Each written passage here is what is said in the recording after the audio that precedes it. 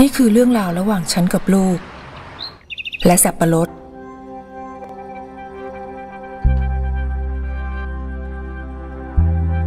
ฉันไม่ได้เรียนหนังสือ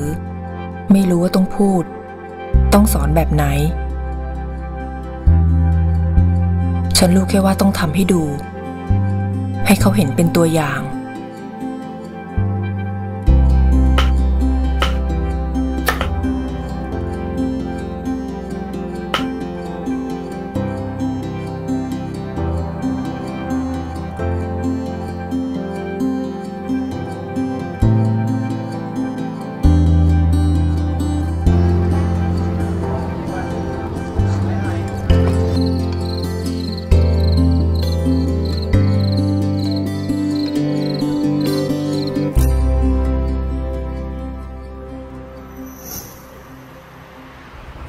เป็นไงล่ะ อร่อยกว่าไอติมอีกใช่ไหมจ้าแม่ น่าทำขายนะแม่เนาะ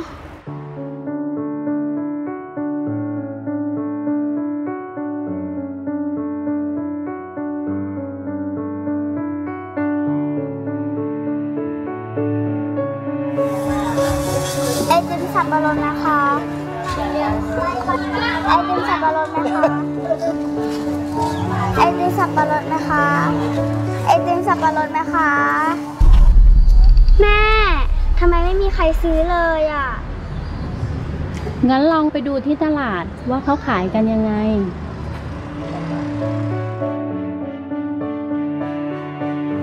พริกไหมจ้ากล่องละห้าสามกล่องสิบจ้า หมูปิ้งจอมทัพหมูปิ้งอร่อยอร่อยครับหมูปิ้งจอมทัพจ้าพริกกล่องละห้านะคะสามกล่องสิบจ้า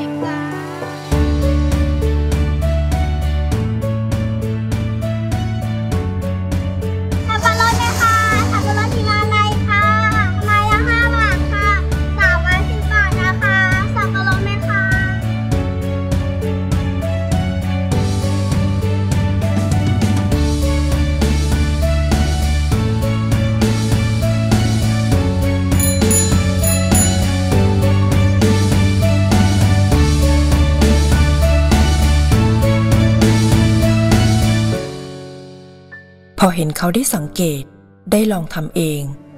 วันนี้ฉันสบายใจแล้ว ที่เห็นเขาทำได้แบบนี้